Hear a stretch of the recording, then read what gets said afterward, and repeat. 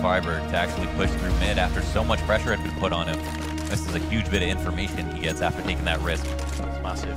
Lots of damage dealt to both sides. Pyth almost out of this round. Kjaerbye device low. And Friberg might be offered up a frag here. He's sandwiched between two players. Two kills come down from Friberg, and he's holding his position. Third kill.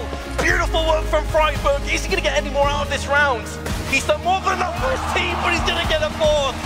A four frag, all headshots. Unbelievable. Get back point.